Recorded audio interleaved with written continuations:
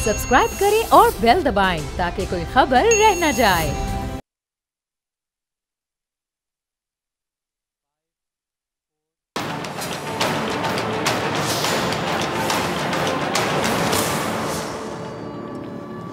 वालेकुम नाजरीन, मैं हूँ डॉक्टर फिजा अकबर खान और मैं हूँ पाकिस्तान और आप देख रहे हैं पाकिस्तान के सबसे बड़े न्यूज़ चैनल का नंबर वन प्रोग्राम, ऐसे नहीं चलेगा। नाजिर हमारे माशरे का एक उसूल रहा है और वो ये कि जब भी कोई सानहा पेश आता है, उस पर एहसास नदामत के बजाय उस वाक़े या सानहे पर इतनी बहस की जाती है कि बात मज़ा की तरफ़ निकल जाती है। वाक़ कितना ही संगीन क्यों ना हो, सानहा कितना ही बड़ा क्यों ना हो, लेकिन नहीं मालूम कि क्यों कोई ना कोई बात ऐसी हो ही जाती है हर बार जिस पर लोग तंजो मज़ा करते हैं। और ये लोग कोई और नहीं है, हमारे अपने हैं। अफसोस की बात है ना, हमारे अपने। सबसे ज़्यादा दुख इस बात का होता है कि जिन लोगों को आवाम के और माशरे के मसाइल हल करने होते हैं, वही उन पर कहके लगाते दिखाई देते हैं। ये एक फितरी अमल है कि जब भी कोई अफसोसनाक वाक़ पेश आता है तो जिसके साथ पेश आता है, उसके चेहरे पर हँसी नहीं आती। अब ज़रा गौर से सुनिएगा। जिसके साथ कुछ बुरा होता है, वो मुस्कुरा नहीं सकता। कैसे मुस्कुराए वो? और इखलाकी तौर पर उससे मिलने वाले अफराद का ये फ़र्ज़ होता है कि जब उससे मिलें तो चेहरे पर मुस्कुराहट ना आए। उसके दुख में शरीक होने का मकसद भी शायद यही होता है कि जिसके साथ कोई सानहा पेश आ गया, उसके सामने कोई ऐसी बात ना की जाए जिससे उसको मज़ीद दुख हो, उसकी तकलीफ़ में इजाफ़ा हो। या ऐसा तासर जाए कि उससे अफसोस के लिए मिलने आने वाले लोग तो शायद टाइम पास कर रहे हैं और हकीकत में उनको मालूम ही नहीं है कि इस पर बीती क्या है। ऐसा ही है।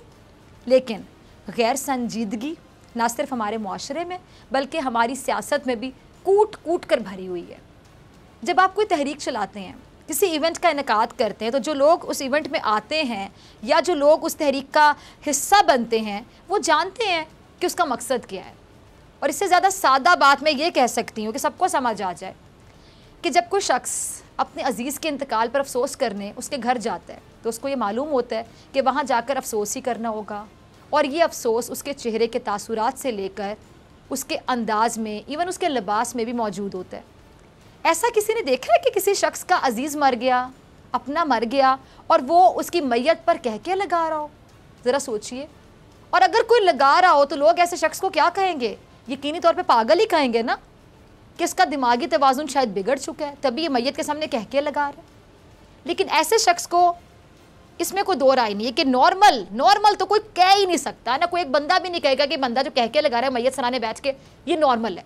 अब नॉर्मल कहेंगे इसको, पागल कहेंगे तो दिमागी तोज़ुन ख़राब हो चुका। लेकिन अफसोस ये है कि हमारे माशरे पर, उन अफराद पर, जिनके कंधों पर माशरे की असलाह की ज़िम्मेदारी होती है रिस्पॉन्सिबिलिटी होती है, वो उसमें मज़ीद मज़ीद बिगाड़ पैदा करते हैं, सुलझाने की कोशिश नहीं करते, मज़ीद बिगाड़ पैदा कर देते हैं। अफसोस है ऐसे अफराद पर जो दावा तो ये करते हैं कि वो हमारे दुख दर्द में बराबर के शरीक हैं, लेकिन उनका अमल कुछ और ही कह रहा होता है। पता नहीं चलता उनके अमल से कि कितना दुख है उनको या कितना एहसास है हमारे दुख दर्द का। और अफसोस है कि ऐसे नमा, जो अवामी जमहूरी नुमाइंदे हैं, उन पर, जिनको सानहात पर भी सियासत करनी होती है जैसे कि लाहौर मोटरवे पर पेश आने वाला जो वाक़ है, जिस पर पूरी कौम अफसरद है। अल्फाज नहीं कि इन अल्फाज के इन अल्फाज में इस वाक़े की मजम्मत की जाए। एक सानहा बहुत बड़ा सानहा जिस पर बीती उससे पूछे ना। वज़ी अजम इमरान खान साहब से लेकर हर हुकूमती शख्स पर तनकीद की गई, जो कि बनती भी थी। सी सी पी ओ लाहौर ने जलती पर तेल का काम किया। ज़ख्मों पर मरहम की बजाय नमक छिड़का। उस्मान बुजदार साहब के बारे में मैं क्या कहूँ? उनका तो अल्लाह ही हाफिज़ है। उनसे सवाल गंदुम करो, जवाब चना देते हैं। उसके बाद औरत मार्च वाली आंटियाँ। औरत मार्च पहले जो निकल आए अपने मुफादात और मुतालबात के लिए। असल वाक़ उसके मुजरमान। ऐसे वाक़ात की रोकथाम कैसे की जाए? इस पर क्या एक्शन किया जाए? बात ये होनी थी और इतनी ही होनी थी। लेकिन बात करने वालों ने बात शुरू इसी वाक़े से की। लेकिन इसका रुख मोड़ दिया कभी मज़ा की तरफ़ तो कभी सियासत की तरफ़। यानी मोमेंट को कैश करवाना, हर वाक़े को कैश करवाना अपने मुफाद के लिए। अफसोस सद अफसोस कभी इस वाक्य को बुनियाद बनाकर अपने सियासी मुखालफन से इस्तीफ़ा मांगा गया? तो कभी इस वाक्य को बुनियाद बनाकर अपने कारनामे गिनवाए? दोनों में आप कह सकते हैं कि खुद गर्जी कूट कूट के भरी है।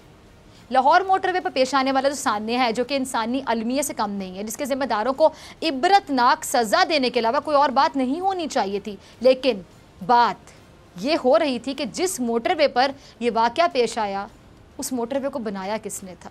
अफसोस का मुकाम देखिए ज़रा शबाज शरीफ साहब का ये क्लिप जब ये मोटर और ये मोटरवे चूँकि सियालकोट मोटरवे पे ये अंदोनाक वाक़ पेश आया तो यहाँ पर ये मैं समझता हूँ कि कहना गैर मुनासिब नहीं होगा कि ये मोटरवे भी अल्हम्दुलिल्लाह मियाँ नवाज़ शरीफ की सरबराही में मुस्लिम लीग नून ने बनाया।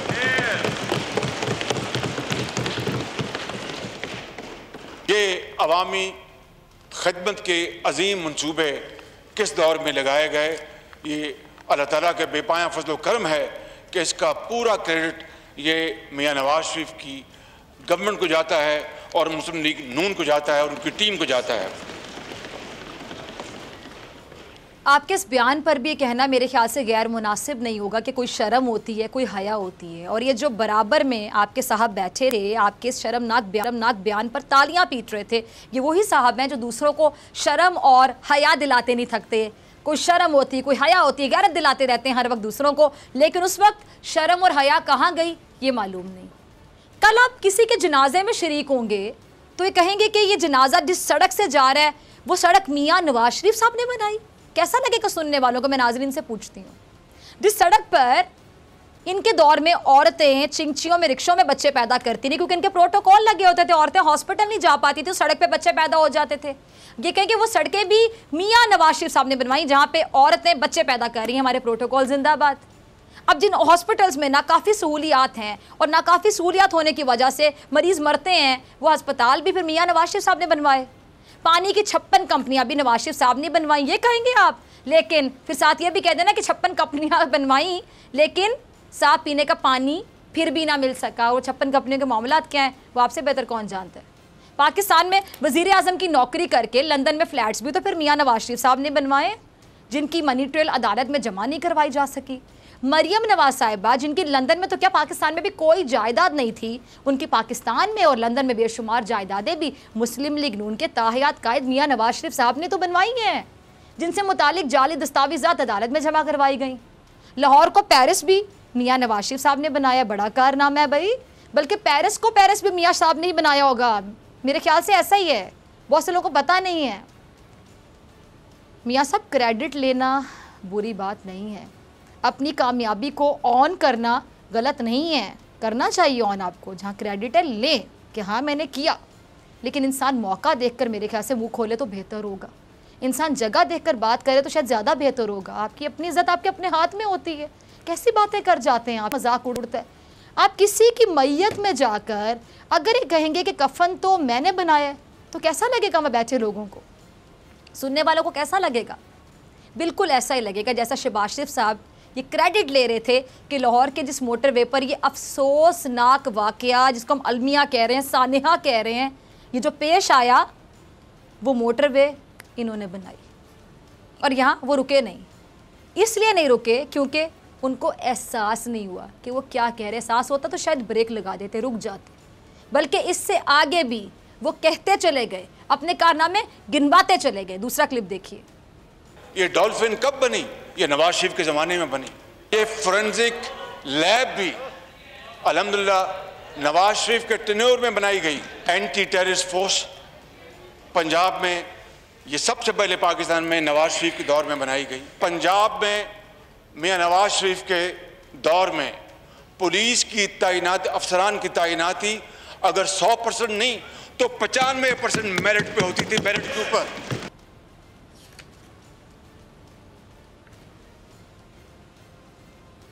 जी, आपने सुना जी, वाकया बहुत अफसोसनाक था, लेकिन रवैया ऐसा गैर संजीदा था, बातें आप कह लें कि किसी लतीफ़े से कम नहीं थी, और इनके, इन्हीं लतीफ़ों पर मुझे सी सी पी ओ लाहौर की भी बात याद आ गई, कि वो फरमा रहे थे कि जिन खातून के साथ ज़्यादती हो रही है, वो रात को घर, रात को घर से बाहर आखिर निकली ही क्यों थी? जैसे इन्होंने अनाउंसमेंट की हुई थी ना कि रात के टाइम खवातीन बाहर नहीं निकलेंगी, क्योंकि इस टाइम से इस टाइम तक हम तहफ़ देंगे, बाद में हम जिम्मेदार नहीं हैं। तो बेचारी वो बाहर ना निकलती, उनको पता होता कि पुलिस की तो ज़िम्मेदारी है ही नहीं इस टाइम पर। उन्होंने उस सड़क का इंतखाब क्यों किया? ऐसे सवाल पूछे गए। उन्होंने पेट्रोल चेक क्यों नहीं किया गया? ये सवाल पूछे गए। ऑपोजिशन हो या हुकूमत? मज़ा से बाहर नहीं निकल रही। अच्छा बाद में माफ़िया मांग लेते हैं ट्वीट्स करके। वो अलग कहानी है कि माफ़ी मांग रहे हैं तमकीद होती है ना, जब लोग पूछ रहे होते हैं फिर समझ नहीं आती। फिर माफ़ी मांग के कहते हैं, बस जी मट्टी में दबा दें इस मामले को। बस दब गया मामला। ऐसी बातें करते हैं क्यों है? बाद में माफिया मांगनी पड़े। अब ये जो वाक्य है, इस पर दोनों ही लुत्फानंदोज हो रहे थे। हुकूमत की आप बात कर लें अपोजिशन की कर लें सी सी पी ओ की बात कर सी सी पी ओ लाहौर के इस बयान पर अपनी कौम की हालत पर मुझे एक कहानी याद आ गई। ज़रा सुनिएगा। सुनिएगा कहानी। एक हाजी साहब बहुत ज़्यादा कंजूस थे, कहने के इंतहा के कंजूस थे। सिर्फ़ उन्हें अपनी परवाह थी। ज़ाती मुफाद के लिए वो कुछ भी कर लेते थे। बहुत खुद गर्ज सेल्फिश मगर इज्तमाही मुफाद से भाग जाते थे। तभी तो खुद गर्ज थे। फ़र्ज़ शनास इतने थे और उन पर ख़त्म थी फ़र्ज़ शनासी।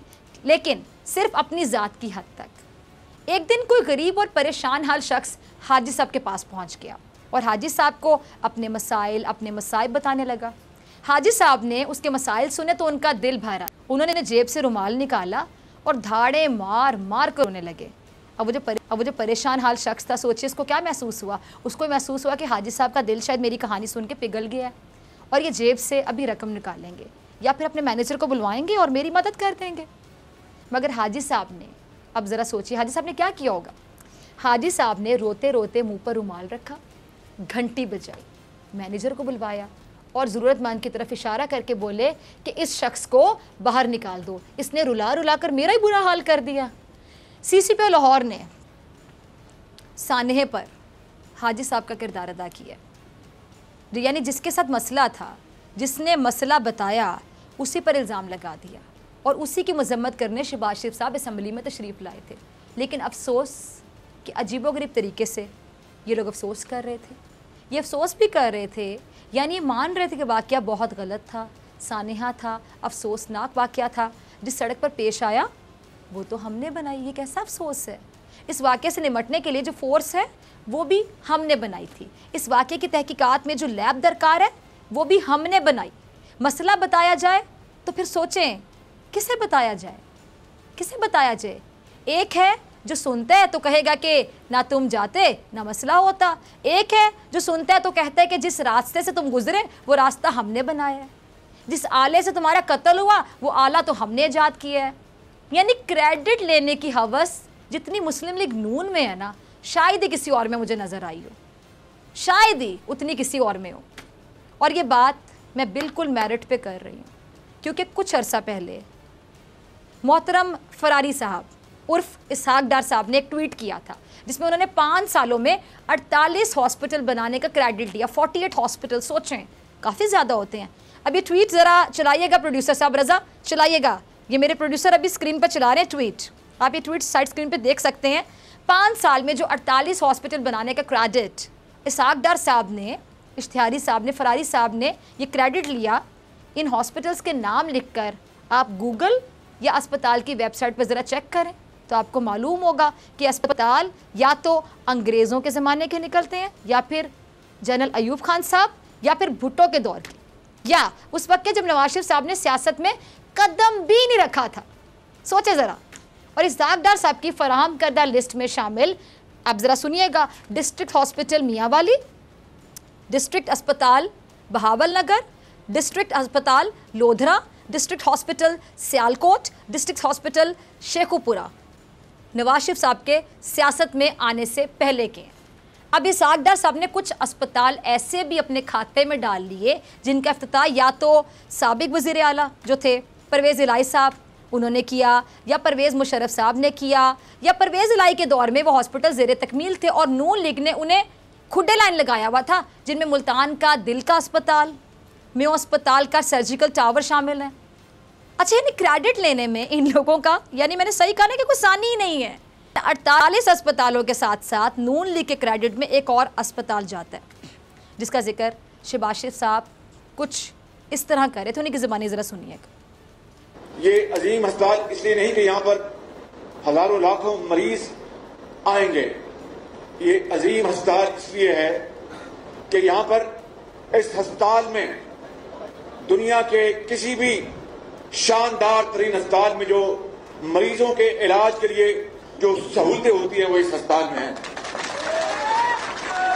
ये अजीम अस्पताल इसलिए है कि दुनिया के, पाकिस्तान में नहीं, दुनिया के किसी भी अस्पताल में बेहतरीन मशीनरी, बेहतरीन ब्लड टेस्टिंग लेबोरेटरीज बेहतरीन डॉक्टर्स बेहतरीन नर्सें बेहतरीन मैनेजमेंट वो इस अस्पताल में मौजूद हैं। ये अजीम इसलिए है कि ये इलाज वही मुहैया कर रहा है गरीब आदमी को, जो कि अमीर तरीन अस्पताल को, महँगे तरीन अस्पताल में इलाज मिलता है। अब जरा सुनिएगा नाजरीन, मेरा जवाब शबाशिफ साहब को। यानी सागडार साहब, मिस्टर फरारी, मिस्टर इश्तिहारी की जो फराम करदा लिस्ट है, उसके 48 अस्पताल और ये एक दुनिया का जदीद तरीन हॉस्पिटल जो कि ये हज़रत नवाज़ शरीफ साहब ने बनाया यानी टोटल कितने हो गए? अड़तालीस और एक ये जदीद वाला उनचास, फोर्टी नाइन, उनचास। लेकिन उनमें से किसी एक अस्पताल में भी, आप लोग भी सोच रहे होंगे हैरानी से, कि इनमें से उनचास हॉस्पिटल्स में से एक अस्पताल में भी नवाज़ शरीफ साहब ने एक इंजेक्शन तक नहीं लगवाया। क्यों? शहबाज शरीफ साहब ने इन अस्पतालों से अपनी खांसी तक का इलाज कराना पसंद नहीं किया। आखिर क्यों? शरीफ फैमिली का कोई एक बच्चा भी इन उनचास में से किसी एक अस्पताल में भी शायद ही पैदा हुआ हो। शायद ही। इन 49 हॉस्पिटल्स में से किसी एक हॉस्पिटल के पास भी नवाज़ शरीफ समेत शरीफ ख़ानदान के किसी भी फ़र्द की, किसी भी बीमारी का इलाज मौजूद ही नहीं होगा। वैसे दुनिया का जदीद तरीन हॉस्पिटल है, लेकिन इनका इलाज मौजूद नहीं होगा। दुनिया का जदीद तरीन अस्पताल बनाने के दावेदार शहबाज शरीफ साहब ने अपने भाई नवाज़ शरीफ साहब को अपनी ज़मानत पर लंदन भिजवाना तो पसंद किया, लेकिन उनका इलाज इस जदीद तरीन हॉस्पिटल में करवाने पर रजामंद नहीं हुए। और इस इसाकदार साहब के मुताबिक 48 अस्पताल नून लीग ने बनाए अपने दौर में। और सबसे आम तरीन बात, ये सागदार साहब का ये जो दावा है, ये बिल्कुल ही वैसा झूठ है और उतना ही खोखला है जैसे इनके पाकिस्तान की मीशत को बेहतर और मज़बूत बनाने के दावे खोखले और उन्हीं दावों की वजह से आज सागदार साहब इश्तिहारी हैं, फरारी हैं, पाकिस्तान नहीं आते, डरते हैं। बल्कि लंदन में आराम फरमा रहे हैं, ऑप्शन इनको कोई और नज़र नहीं आती, फेस कैसे करेंगे? और हालिया जो अफसोसनाक वाक़ पेश आया इसमें शबाज शरीफ साहब ने सी सी पी लाहौर के गैर जिम्मेदाराना बयान पर उनसे इस्तीफ़े का मुतालबा किया, जो कि लाजमी था। अच्छा किया। उनको इस्तीफ़ा देना चाहिए, लेकिन अब मेरा ज़रा सवाल सुनिएगा। सी सी पी ओ को इस्तीफ़ा देना चाहिए, लेकिन उसके अगले ही लम्हे, जो शबाब ने खुद को भी सी सी पी लाहौर की सफ़ में खड़ा कर दिया, वही बिहेवियर वही एटीट्यूड अब इखलाकी तौर पे तो शबाज शरीफ साहब को भी उनके साथ ही इस्तीफ़ा दे देना चाहिए। अब दो इस्तीफ़े आने चाहिए ना, एक आपका भी आना चाहिए शबाज शरीफ साहब। लेकिन शबाज शरीफ साहब इस्तीफ़ा नहीं देंगे, क्योंकि जब उनके ताहयात कायद ने करप्शन के इल्ज़ाम पर इस्तीफ़ा ना दिया, बल्कि अदालत से नाहल होने जा के बाद ये कहते रहे कि वजारत उजमा की कुर्सी पर सिर्फ़ उनका हक है, उनके खिलाफ तो साजिश हो गई। तो फिर शबाज शरीफ साहब कहाँ इस्तीफ़ा देने की ज़रूरत करेंगे? भाई तो उन्हीं के हैं ना। बल्कि वो इस अफसोसनाक वाक़े पर भी ना सिर्फ़ क्रेडिट ले रहे थे, बल्कि अफसोस के साथ कहूँगी, शर्म नहीं आती, मज़ाक कर रहे थे। देख लीजिए। जी प्लीज़ अगर आपने उधर किसी से नज़रें मिलानी तो मिला लें। नहीं नहीं। जी जी प्लीज़ अगर आपने उधर किसी से नज़रें मिलानी तो मिला लें। नहीं नहीं। अब ये जो हँसी है ना नाजरीन ये इनकी असलियत बताती है कि अंदर क्या है। ये जो संजीदा मसले पर गैर संज, गैर संजीदी का आलम है ना ये इनकी तरजीहत और नीयत बताता है। कभी किसी अपने के साथ यही वाक़ ये अफसोसनाक वाक़ पेश आता। तो शहबाज शरीफ साहब, बल्कि शहबाज शरीफ समेत वो तमाम अफराद जो इनके इस गैर मैारी लतीफ़े पर हंस रहे थे, क्या हँसते? दिल पे हाथ रखिए और बताइए, कोई हंसता किसी अपने के साथ ऐसा होता? या किसी गैर के साथ भी, और आपको तकलीफ़ हो, उसका दुख देख के आपको इंसानी के दाते तकलीफ़ हो, कि इंसानियत भी किसी चीज़ का नाम होता है, आप ऐसे हँसते? कभी भी ना हँसते, ये लोग हँसी ना पाते। क्या शबाज साहब अपने अज़ीज़, अपने रिश्तेदार के साथ पेश आने वाले किसी भी अफसोसनाक वाक्य के बाद इस तरह की बातें करते क्या इनका रवैया यही होता? हरगिज़ नहीं। ये रवैया ना होता, किसी अपने के साथ होता, किसी अपने में बीतती तो पूछते हम। नज़र आता इनके चेहरे से। वाक्य खातून के साथ पेश आया? और शबाज साहब, असद कैसे साहब को जो टॉन्ट कर रहे, तंज कर रहे, वो भी शायद किसी खातून पर रख के कर रहे हैं। जिस पर एक आवाज़ भी पीछे से आई है, वो भी खातून की थी, जो कह रही थी, शेम ऑन यू. ये रवैया, ये गैर संजीदगी ये हालत, ये एटीट्यूड और इस पर, यही शबाज शिफ साहब, कभी सी सी पी ओ लाहौर पर तनकीद करते हैं? तो कभी इमरान खान साहब के किस मुँह से कर लेते हैं आप लोग तनकीद? अपने गिरेबानों में आप लोग झाँक के नहीं देखते कि आप क्या करते हैं? चले, आप ना देखें झाँक के दुनिया देखती है आप लोगों को। देखिए। इस वाक्य के ऊपर वो मुकम्मल तौर पर गायब, खामोश एक लफ्ज नहीं कहा। और नो क्रॉस प्लीज़ ये जनाब speaker no cross talk please ये इनका वज़ीर आज़म का वतीरा बन चुका है। ये इनका स्टाइल है। ये इनका कैरेक्टर है कि जब कौम को वज़ीर अजम अपने आप को जब कौम गैर महफूज समझती है और वो तलाश करती है कि हमारा वज़ीर अजम कहाँ है वो अचानक गायब हो जाता है, खामोश हो जाता है। अच्छा तनकीद में अक्सर कहते हैं कि करें। आपका हक है तनकीद करना, बल्कि आप फ़र्ज़ है, आप अपोजिशन है। आप हुकूमत को हुकूमत को बताएँ, आईना दिखाएँ, जहाँ दिखाना बनता है। तनकीद हम भी करते हैं वज़ी अजम इमरान खान साहब पर, और जहाँ करनी बनती खुल कर करें तनकीद। लेकिन हकाइक को तो मत झुटलाएँ आप लोग, हकाइक को क्यों झुटलाते हैं। ये शिकायत आप लोगों को इमरान खान साहब से उस वक्त भी थी, जब कोरोना वायरस पाकिस्तान में आपको याद होगा, तेज़ी से फैल रहा था। उस वक्त भी पूरी अपोजिशन ये कहती थी कि इमरान खान साहब गायब हैं। इमरान खान साहब को तलाश करें। इमरान खान साहब हकाइक नहीं बताते हैं। इमरान खान साहब जवाब देने से भाग रहे हैं। जबकि इमरान खान साहब तो हर दूसरे दिन कोरोना के मसले पर कौम से खिताब कर रहे थे और बारह अपने फैसलों और मसाइल से आगाह भी करते रहे। पाकिस्तान में शायद ये पहला वज़ीर अजम है जिसने हर मामले पर कौम से खिताब किया। आप सौ ऐप निकाल सकते हैं इमरान खान साहब में। सौ बातों पर तनकीद कर सकते हैं, हज़ार बातों पर कर सकते हैं। लेकिन कौम से खिताब, कितने प्राइम मिनिस्टर पाकिस्तान में गुजरे जिन्होंने बार बार कौम से खिताब किया, कौम को कॉन्फिडेंस में लिया और कौम के सामने पूरा मसला खुल कर रख दिया कि ये मामला, ये सिचुएशन है ऐसे हैंडल कर रहे यानी जो जैसा हुआ, वैसा ही बताया ना इमरान खान साहब ने, यहाँ उनको क्रेडिट देना बनता है, तारीफ़ बनती है कि छुपाते नहीं हैं, पूरे मसाइल कौम से डिस्कस करते हैं, कौम को कॉन्फिडेंस में लेते हैं। वरना पाकिस्तान में ऐसे भी वज़ी अजम गुजरे हैं वज़र अजम जो सिर्फ़ तब बाहर आए जब उनकी करप्शन सामने आई। और पाकिस्तान में ऐसे भी वज़र अजम रहे हैं जो तब बाहर निकले जब उनसे उनकी कुर्सी छीन ली गई। यानी अपनी कुर्सी वापस लेने के चक्कर में बाहर आ गए। रवैया बहुत मैटर करता है एक्ट मैटर करता है। आपका रवैया बताता है कि आप किसी भी मामले से कितने संजीद हैं। लाहौर में पेश आने वाला वाक़ मैं अपने अल्फाज बार बार दोहरा रही हूँ, बहुत अफसोसनाक था। सानेहा था, अलमिया, लेकिन एक और वाक़ था, एक और सानेहा था। वो भी सानेहा था। वो था सानेहा मॉडल टाउन जिसमें चौदह अफराद को दिन दिहाड़े मारा गया। जुल्म की इंतहा। उस पर आपका क्या कहना था? ज़रा वो भी देख लीजिए। मेरे पास ये बिल्कुल रिपोर्ट है कि टोटल सतानवे लोग जो ज़ख्मी हुए उनमें बावन हैं अपने सिविलियंस हैं अट्ठाईस हैं पुलिस के। और आठ अल्लाह को प्यारे हो गए। आपका जो सवाल जो है कि इसमें साजिश है ये नहीं है ये तमाम अदालती तहकीकात जो है मेरा पूरा यकीन है कि मैं कि वो हर चीज़, वो तशतबाम सामने ले आएगी, शीशे की तरह और ये तहकीकात आज तक जारी हैं। उन चौदह अफराद के कातिल आज तक पकड़े ना जा सके।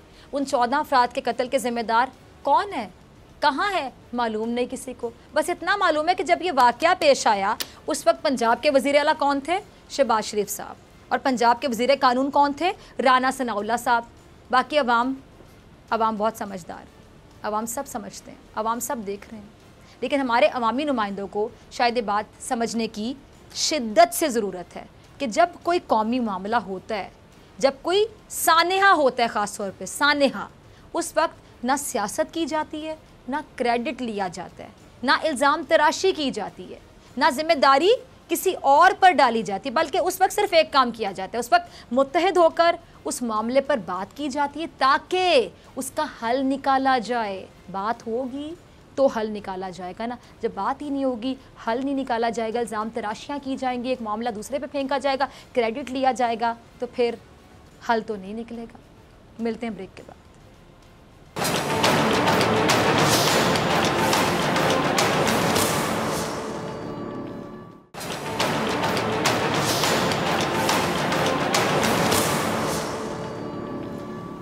वेलकम बैक नाजीन, आप देख रहे हैं ऐसे नहीं चलेगा, मैं हूँ आपके साथ डॉक्टर फैजा अकबर खान। 15 सितंबर 1947 ये वो दिन है जब जूनागढ़ के नवाब, जनाब नवाब महाबत खान जी साहब ने कायद अजम मोहम्मद अली जिना के साथ पाकिस्तान से इलाहाक के माहे पर दस्तखत किए थे। और इसके बाद तकरीबन डेढ़ माह तक जूनागढ़ के सरकारी इदारों पर पाकिस्तानी परचम लहराते रहे। लेकिन बाद में वहाँ भारत ने वैसे ही कब्जा कर लिया, जैसे मकबूजा कश्मीर पर किया हुआ है। अब इंटरनेशनल लॉ क्या लॉ क्या कहते हैं? इंटरनेशनल लॉ के मुताबिक जूनागढ़ आज भी पाकिस्तान का हिस्सा है, जिसपे भारत काबिज है। भारत ने कब्जा किया हुआ है। इससे मुतालिक कई करारदादें भी अकवा मुतहदा में पाकिस्तान की जानब से जमा करवाई जा चुकी हैं। और ये कब्जा आखिर किया कैसे गया था? और मौजूदा हुकूमत को इस मामले पर अब क्या करना चाहिए? इस पर बात करने के लिए मेरे साथ प्रोग्राम में मौजूद हैं नवाब और मोहम्मद जहांगीर खान जी साहब। बहुत शुक्रिया मोहम्मद जहांगीर साहब आपका ज्वाइन करने के लिए। सबसे पहले मैं ये चाहूँगी कि आप नाजरन को बताइएगा कि इसका पस मंज़र क्या है और इस इलाहाक के बाद भारत ने कब्जा आखिर किया कैसे था? पूरा बैकग्राउंड क्या है? क्या किसी ने गद, किसी ने गद्दारी की थी? हुआ क्या था? जी बिस्मिल्लाहमान रहीम अलैक्म मोहतरमा साहबा। सबसे पहले तो मैं आ, आपका और आपका जो चैनल है बोल उसका उसके तमाम क्रू का और ऑर्गेनाइजेशन का तय दिल से शुक्रगुजार हूँ कि आपने मुझे कुछ बोलने का आ, मौका फराम करा जूनागढ़ पर। आ, ये कुछ हालात ऐसे चले कि पंद्रह सितंबर जो था वो एक हिस्टोरिकल दिन है। हमारे हम्म। लिए। और we are proud of this day हमें बहुत फ़ख्र है अल्हम्दुलिल्लाह। क्योंकि ये वो दिन था कि जिस दिन uh, इलाके uh, जूनागढ़ का जो इलाक हुआ पाकिस्तान के साथ इस पे दस्तखत हुए। और uh, ये एक इंटरनेशनल ट्रीटी थी और इस पे जूनागढ़ की जानब से उस वक़्त के जो सॉवरेन रूलर थे जैनस नवाब मोहम्मद खान जी ने दस्तखत करे। और इसके बाद on behalf of the state of Pakistan Quaid Azam रमत and the first as the first governor general ने उसे कबूल फरमाया। इसके बाद फिर यह तो पाकिस्तान की सबसे पहले असम्बली जो थी जो कि कॉन्स्टिट्यूट असम्बली ऑफ़ पाकिस्तान कहलाती थी जी, जी, उसे जी. इसने रेटिफिकेशन करा इसका। तो इसके बाद फिर ये हुआ कि पंद्रह सितंबर के बाद आप देखें कि कुछ ये gap between the ninth of November and the fifteen of September is about hardly about two months and something तो नाइन्थ ऑफ़ नवंबर को फिर ये बात हिंदुस्तान सरकार को अच्छी नहीं लगी। हालाँकि जो स्टेट काउंसिल थी हमारी जो स्टेट गवर्नमेंट थी उसमें रिप्रेजेंटेशन था दोनों का the Hindu community as well as the Muslims तो उनको अतमाद में लिया हिंदू कम्युनिटी हम्म। को क्योंकि वो एक बड़ा अच्छा रिश्ता होता था नवाबीन का और उनकी जो सब्जेक्ट्स होते थे उसका वो बापू जी कहते थे यानी वाले साहब तो उनको कॉन्फिडेंस अच्छा। में लिया गया तो उनने ये कहा हिंदू कम्युनिटी ने कि हम जो हैं अपना फुलेस्ट रिपोर्ट्स करते हैं आप में ट्रस्ट एंड कॉन्फिडेंस क्योंकि आपके बाप दादाओं ने हमें for seven hundred years lead करा है तो इस वजह से हमें यकीन है कि जो फ़ैसला आप करेंगे वो हमारे लिए और हमारे आने वाली नस्लों के लिए बेहतर से बेहतर होगा। तो इसके बाद फिर ये फ़ैसला हुआ और ये इसके ऊपर दस्तखत हुए और ये एग्जीक्यूशन ऑफ़ दिस इंस्ट्रूमेंट जो था ये हुआ। मगर on the ninth of November फिर हिंदुस्तान ने अपनी फ़ौजें भेज दी जूनागढ़ को। It was a mechanize division एक पूरा आर्मड डिवीज़न हम्म, था और हम्म। उसका कब्ज़ा रियासत जूनागढ़ का physical possession of the territories of Junagadh Hindustan ने ले ली। तो ये सूरत हाल बनी नवाब साहब जो थे हमारे दादा एट दैट टाइम वो स्टेट के अंदर मौजूद नहीं थे। और क्योंकि 25 अक्टूबर को वो आए थे कायद अजम से मुलाकात करने के लिए यहाँ पाकिस्तान। तो वो उनको फिर ज़ाहिर थोड़ी देर हो गई अच्छा। और उनकी तबीयत भी सही नहीं चल रही थी। तो वो इसके बाद फिर जब ये कब्ज़ा हो गया तो फिर वो यहीं बैठ गए। इसके बाद उनका वापस जाना नहीं हुआ। तो हम ये समझते हैं क्योंकि जो भी एक्ट्स पास हुई थी by the by the British parliament वो the Indian independence act of 1947 and the government of India act ने तो वो ये सब जो था इसमें ये था कि the right was given to the sovereign whether to accede to the dominions of Hindustan या whether to accede to the dominions of Pakistan. देखिए मोहतरमा साहबा ऐसी कई रियासतें थी हिंदुस्तान में। जिनके जो सॉवरन रूलर जो थे उनका मज़हब कुछ और था और अक्सरियत वहाँ मुसलमानों की थी उनके जो प्रजा जो थी उनके सब्जेक्ट देवर मुस्लिम्स मगर that was not the criteria the choice was given to the sovereign ruler और uh, हमारे यहाँ ये हुआ कि अतमाद में लेते हुए हमने अच्छा नवाब साहब मैं आपको इंटरप्ट नहीं करना चाह रही थी मैं चाह रही थी कि आप जो कुछ है बताएँ। ताकि जो खासतौर पे जो हमारे यंगस्टर्स हैं ये जो जनरेशन है जो इन चीज़ों को नहीं जानती जिन्होंने हिस्ट्री भी इतनी नहीं पढ़ी तो उनको पता चल सके आपके तवसत से। अच्छा आगे चलना चाहेंगे नवाब साहब पाकिस्तान ने जो नया सरकारी नक्शा जारी किया है आपकी नज़र में एक ऐसा इकदाम है? आपकी इस पर क्या राय है? जी मोहतरमा साहबा ये नक्शा तो पाकिस्तान पहले भी शो करता था क्योंकि मुझे याद है हम बच्चे होते थे उस ज़माने में और नाइनटीन सिक्सटीज़ के जो थी जो दिहाई थी उसके अंदर पाकिस्तान अपने नक्शे के अंदर ऑन द स्टैम्प्स स्टैम्प्स में भी वो जूनागढ़ को हम्म। दिखाता था पाकिस्तान के नक्शे के साथ। तो ये था फिर इसके बाद मगर बीच में कुछ दौर ऐसा आया कि वो हमें कुछ खुद समझ में नहीं आए कि भाई द मैप ऑफ़ जूनागढ़ कहाँ चल गया। तो खैर उसके ऊपर भी हमने काफ़ी इकदाम करे के और हमने इनको बताया कि this map should come back with the map of Pakistan और इट शुड बी शोन तो फिर ये हुआ कि ये uh, हम मुबारकबाद पेश करना चाहते हैं मौजूदा हुकूमत को और उनका शुक्रिया भी अदा करना चाहते हैं कि उनने जो था ये चौदह अगस्त को पाकिस्तान का जो न्यू मैप उनने जो शो कराया उसके साथ। उनने तमाम अच्छा। अपनी जो टेरिटरीज हैं जो दूसरी जैसे the state of Junagadh the state of Manavadar और दूसरे तो वो उनने शो करा। We are much grateful to the to the state of Pakistan और मैं समझता हूँ ये एक अच्छी बात है because it's a very legal issue और ये बिल्कुल होना चाहिए because these are now the territories of the state of Pakistan ठीक है। अच्छा नवाब साहब ठीक है ठीक है। तो अच्छा मुझे ये बताइएगा कि इस मामले पर मौजूदा हुकूमत ठीक है। अच्छा नवाब साहब, इस मामले पर मौजूदा हुकूमत जिस तरह काम कर रही है, आप कहते, आप क्या कह सकते हैं कि बेहतर काम कर रही है, इससे भी बेहतर किया जा सकता है? और अगर मैं कंपैरिजन करना चाहूँ, आपसे पूछना चाहूँ कि पिछली हुकूमतों से आपने इसी तरह उम्मीद लगाई थी, आपको लगता था कि उन्होंने अच्छा परफॉर्म किया, या ये हुकूमत जो कर रही है, वो बेहतर है, पिछली हुकूमत इस तरह हैंडल नहीं कर सकी? कि पिछली हुकूमतों ने भी कुछ ना कुछ थोड़ा थोड़ा सा करा, इसमें तो कोई शक नहीं है। मगर ये है कि दिस टाइम ये जो मैप जो हुआ है और हम इस हम्म। हुकूमत से अब तो रखते हैं कि ये हुकूमत जो है ज़्यादा करे आगे। And it is the responsibility of the state of Pakistan क्योंकि हमने तीन चीज़ें जो मायदा करा था हमने तीन चीज़ें रियासत पाकिस्तान को दी थी। इसमें foreign affairs defence and communication were the three express responsibility uh, subjects that were handed over to uh, the state of Pakistan. तो अब फॉरेन अफेयर्स में देखें इनको करना है। और जो वो है आपका जो इंटरनल रियासत के अंदर तो वो किस तरह हाउ टू ब्रिंग अवेयरनेस तो हम तो मैं तो कर ही रहा हूँ I have dedicated my life to this और मैं तो ये काफ़ी अरसे से कर रहा हूँ। मगर हम ये भी चाहते हैं कि पाकिस्तान हमें थोड़ा सपोर्ट अच्छा, करे इसमें ये ताकि ये रहेगा कि हम ये नौजवान नस्ल को बताएँ कि व्हाट इज़ द फैक्ट्स और देखें आखिर में जो भी है। अच्छा नवाब साहब इसको हम क्या कह सकते हैं? हर कौम का बल्कि वो ठीक है। ठीक है नवाब साहब आप क्या कहेंगे कि क्या ये बदकिस्मती तो नहीं रही कि पाकिस्तान में इस मामले पर ज़्यादा बात नहीं की गई जितनी की जानी चाहिए थी? दफ्तर खारजा की भी अगर मैं बात करूँ तो दफ्तर खारजा भी जूनागढ़ पर ज़्यादा बयान नहीं देता रहा।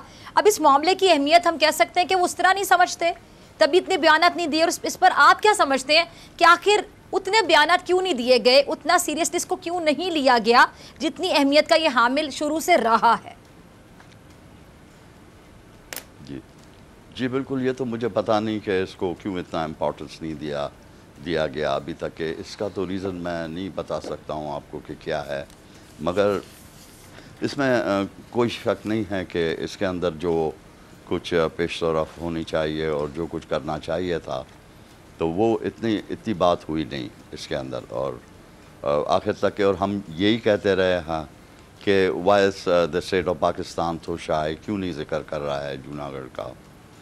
और ये हैगा कि अब खैर उनने दिखाया है और शो करा है तो अब हम उम्मीद से हैं कि ज़रूर वो करेंगे आगे इसको और जो हमारी ख़ास करके नौजवान नस्ल है बिकॉज़ इसी इवेंचुअली ये होगा कि जो ये जो स्टेट होता है इसकी जो कुछ भी है द रेंज जिसको कह लें आप लगाम जो है वो तो फिर नए जनरेशन के हाथ में ही जानी है तो they should be well aware um, as to what the issues are and they should be taught सही। uh, uh, they should be in the syllabus ठीक है जी नवाब साहब बहुत शुक्रिया आपके वक्त के लिए। नवाब अगढ़ मोहम्मद जहांगीर खान जी साहब हमारे साथ मौजूद थे बहुत शुक्रिया आपके वक्त के लिए आपके आपने अपनी राय दी इस हवाले से। अच्छा मुझे ब्रेक पे जाना है। ब्रेक से आने के बाद बात करूँगी कि भारत को एक बार फिर मुँह की खाना पड़ी और मेरे साथ मेहमान मौजूद होंगे डॉक्टर मोईद यूसुफ साहब।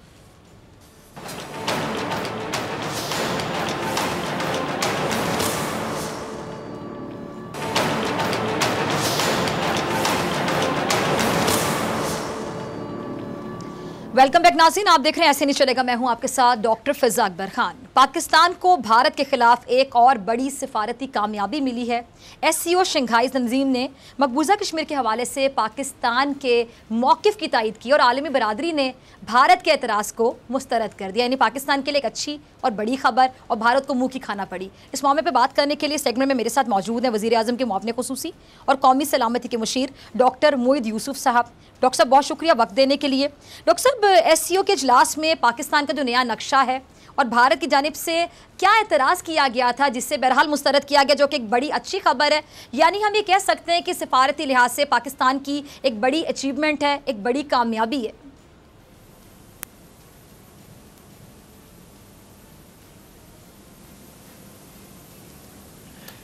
जी अलहमदिल्ला अल्लाह का बड़ा करम है कि पाकिस्तान के मौक़ को अपहोल्ड किया गया उसकी पजीराई हुई। अ, तमाम एस सी ओ मेंबर्स ने अ, और एक आइसोलेटेड भारत जो कि वहाँ से उठ के चला गया। ना सिर्फ़ पाकिस्तान की तकरीर बल्कि रूस की तकरीर उज़्बेकिस्तान की तकरीर। तो बिल्कुल एक वो जिस तरह अ, मुझे तो अफसोस होता है कि इस इन इस सतह पे एक ऐसा फोरम जहाँ कॉपोरेशन सारे मिल के काम करना चाह रहे हैं ऐसा रवैया और अपने आप को मतलब है कि मलामत हुई मज़ाक बना तो बहरहाल उनकी अपनी चॉइस है जी। हमने तो अपना मौक़ वाजे कर दिया। कल रात को ये बात हुई थी हमें ये मैसेज आया था कि उन्होंने एतराज़ उठाया है कि अगर मैप नुमाया होगा तो बड़ा मसला होगा। और हमने बगैर कोई वक्त लगाए तहरीरी जवाब दो टोक और मेरा मौक़ उसमें बिल्कुल वाज था। देर इज़ नो क्वेश्चन कि हमारा मैप हटेगा क्योंकि हिंदुस्तान को पसंद नहीं आया। अ, और वैसे भी हमारा मैप जो है वो हिंदुस्तान के नक्शे के बरक्स पाकिस्तान के लीगल जो कानूनी पाकिस्तान का हक है अकवा मुतहदा की रेजोल्यूशन के तहत अ, उनकी अक्सी करता है।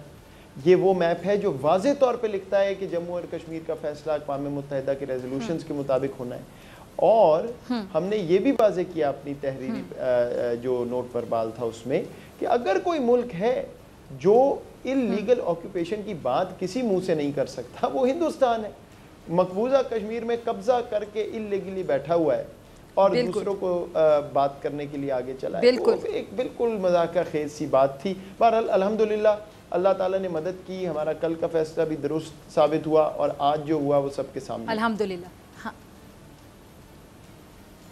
अच्छा डॉक्टर साहब भारत का जो रवैया, भारत ने जो एतराज़ किया, ये तो एक्सपेक्टेड था। सबको पता था कि भारत एतराज़ करेगा। पहले भी आपको याद होगा कि उनके इंडियन मीडिया ने कितना वावेला मचाया और उनका तो उनकी तो आदत है कि पाकिस्तान की कोई भी कामयाबी उन हजम नहीं होती है। हर हर बात से नेगेटिविटी निकालते हैं। वो खासतौर पर नरेंद्र मोदी की, जो आरएसएस की सोच वाली बीजेपी की गवर्नमेंट है, आपको भी पता है। लेकिन भारत का एतराज़ मुस्तरद हो जाएगा, यानी भारत को मुँह की खाना पड़ेगी।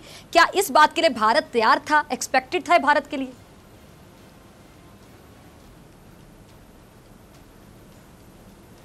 देखिए बात यह है कि बैन अवी दुनिया में ऐसे मल्टीलेटरल फोरम्स पे कोई कवाद जवाबित होते हैं कायद जवाबित होते हैं। ऐसे नहीं होता कि आपने किसी से दोस्ती की को पसंद Exactly. आया। बाकी ममालिक एक मतलब नॉर्म पे चलते हैं एक तरीका कार्रवाई होता है। एक तहरीरी जवाब पाकिस्तान ने दिया रूस ने उसको तस्लीम किया। अगर बाकी ममालिक को कोई एतराज़ होता तो वॉकआउट ना करते।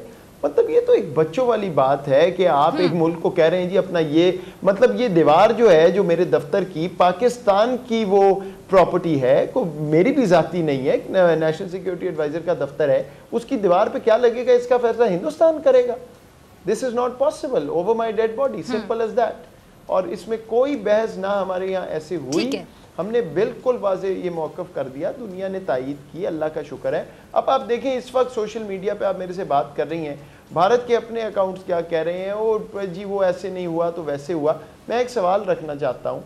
वहाँ से ये बात आई उन्होंने अभी ऑफिशियली मैंने देखा है मेरी नज़र से गुजरा है कि जी वो तो रूस ने कहा था कि आप वॉकआउट कर लें। तो क्या रूस ने ये भी कहा था कि रूस की तकरीर से भी वॉकआउट कर लें और उज्बेकिस्तान से भी वॉकआउट कर लें क्या उन्होंने कहा था कि हाँ। हिंदुस्तान जो है वो दुनिया से खारिज होकर स्पेस में चला जाए? बच्चों वाली बात है। उन्होंने एक ऐसी की है हाँ। बैकफायर की है अल्लाह का शुक्र है पाकिस्तान का मौकफ तस्लीम हुआ। अरे डॉक्टर साहब, अक्सर ये होता है इंसानी नफ्सियात है शायद कि जब आपके पास आर्गूमेंट्स नहीं होते, दलीलें नहीं होती तो फिर लोग बच्चों वाली बात करते हैं, या इमेच्योरिटी का मुजाहरा करते हैं, जैसे कि भारत ने किया और पहली बार नहीं किया, अक्सर ऐसा होता रहा। अच्छा यानी हम ये कह सकते हैं डॉक्टर साहब, के भारतीय एतराज़ जो मुस्तरद किया गया, यानी दुनिया अब ये मानती है कि मकबूजा कश्मीर एक मुतनाज़ इलाका है और भारत इस पर बाकायदा काबिज़ है।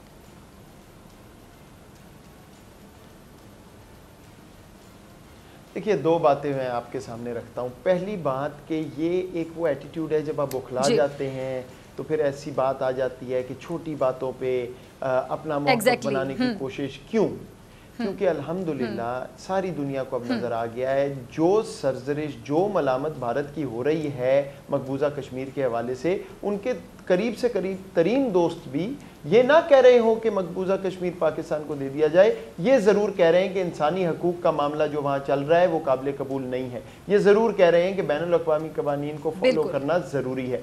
तो जब उनको खुद नज़र आ रहा है कि कश्मीर हाथ से निकल रहा है तो फिर ऐसा रवैया आपको नज़र आएगा। दूसरी चीज़ मैं ये भी वाजे कर दूँ कि ये एक पैटर्न है भारत के रवैये में इस हकूमत के नीचे। ये आइडियोलॉजिकल हुकूमत है। ये हर हमसाए से लड़ रही है। ये चाहती है पूरा खिता उसके नीचे आ जाए। तो ना तो वो कभी होगा और इसी प्रोसेस में अपना भी वो बेड़ा गर्क करेंगे जो हमें नज़र आ रहा है। अफसोस सिर्फ़ इस बात का है कि इस खत्े ने आगे बढ़ना है पार्टनरशिप्स करके। इस खत्े ने आगे बढ़ना है इंसानी हकूक के ज़रिए। जो वहाँ मुसलमान पिस रहा है बस वो दिल रोता है उस चीज़ को हमने और इसीलिए हम लगे हुए हैं। हम तो आज भी कहते हैं पाँच अगस्त को रिवर्स करें जो गलती हुई उसको तस्लीम करें और आ जाएँ बैठ जाएँ हम बात करने को तैयार हैं। हमारा कोई और तो मसला नहीं है लेकिन कश्मीर हल होगा तो बैन अवी कवानीन अकवा मुतहदा की रेजोल्यूशन के मुताबिक होगा। अच्छा ये बहुत अच्छा हो गया, एक अच्छा स्टेप है। लेकिन डॉक्टर साहब, हकीकत ये है कि हम अपना किरदार अदा कर रहे हैं, लेकिन ताली दो हाथ से बचती है। अब आपने बड़ी अच्छी बात की कि इनके दोस्त ममालिक भी एटलीस्ट ये बात मान रहे हैं। चले ये बेशक ना वो माने कि कश्मीर पाकिस्तान का हिस्सा है, लेकिन एटलीस्ट वो इतना मान रहे हैं कि वहाँ पर जो जुल्म और बरबरीत की दास्तान रकम की जा रही हैं, बिल्कुल भी सही नहीं है। लेकिन अब सिर्फ़ ये मान लेना, ये काफ़ी नहीं है। अब आलमी बरदरी को बाकायदा प्रैक्टिकली कुछ करना होगा। अमली इकदाम करने होंगे, क्योंकि कश्मीरी जो लोग हैं, जो सफ़र कर रहे हैं, इतनी माओ ने अपने बेटों की कुर्बानियाँ दी हैं और देते चले आ रहे हैं। उनको हत्या को दिया जाए, उनसे पूछा जाए कि वो क्या चाहते हैं। उनकी राय ली जाए उनको ये हक दिया जाए। अकवा मुतहदा की करारदादें जो कि मंजूर हो चुकी हैं तो फिर इतनी देर क्यों? अब हम क्या एक्सपेक्ट कर सकते हैं कि मामला जो उठाया गया पीछे की गवर्नमेंट ने आकर एक बाकायदा स्टेप लिया, आप लोगों को तनकीद का भी सामना करना पड़ा। पीछे गवर्नमेंट्स के साथ अगर कंपैरिजन किया जाए, पीटीआई ने कदरे बहुत अच्छे इकदाम उठाए कश्मीर को लेकर। अब हम कह सकते हैं कि इसका हल भी मुमकिन हो सकेगा। कश्मीर पाकिस्तान बनेगा, कश्मीर आज़ाद होगा इन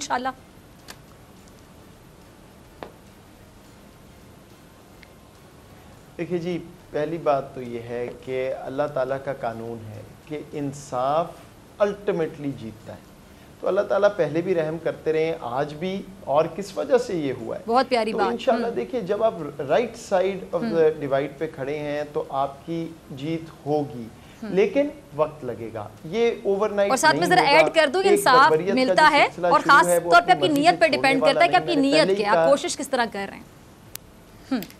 हम्म। बिल्कुल ठीक बिल्कुल ठीक कह रही हैं। तो ये चीज़ सामने रखते हुए इसमें तो शक ही नहीं है कि एंड प्रोडक्ट क्या निकलेगा इन वो भारत के शिकंजे से तो निकलना ही है हम्म। कश्मीर ने लेकिन देखें हम कोई ऐसी चीज़ नहीं कर सकते कि जल्द में जल्दी में कोई करें कि पेशेंस के साथ काम लेना। भारत तो चाहता ही है कि को खुदा न खासा हमसे गलती हो छोटी मोटी और उसको फिर एक वावेला मचा ले। आज भी कोशिश तो उन्होंने वही की थी। सो हमें थोड़ा सा मौका दिखाना होगा। मैं हम्म, बिल्कुल हम्म। तस्लीम करता हूँ कि एक एक लम्हा जो है वो हमारे कश्मीरी भाइयों और बहनों के लिए अजियत है। लेकिन इन शाह ये हमारा हदफ अब दूर नहीं। अच्छा मैं लास्ट में जानना चाहूँगी थर्टी सेकंड्स है मेरे पास, डॉक्टर साहब। हमारे मुल्क के अंदर से भी कुछ लोग ऐसे थे, जब ये नक्शा था तो उन्होंने नक्शे पे बड़े तराज किए थे। इस पर मज़ाक भी उड़ाया गया, आप लोगों को तनकीद का निशाना भी बनाया गया कि ये नक्शा है और क्या है। आज उनको मुँह की खाना पड़ी, उनको कितना बड़ा जवाब?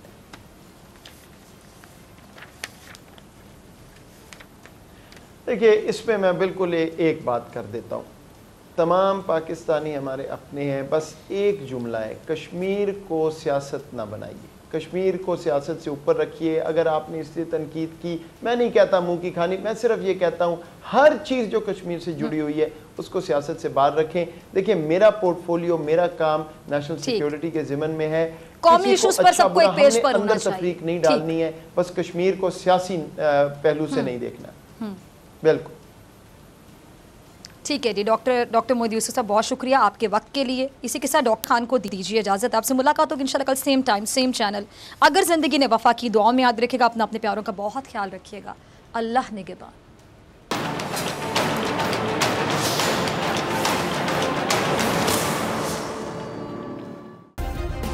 सब्सक्राइब करें और बेल दबाएँ, ताकि कोई खबर रह न जाए।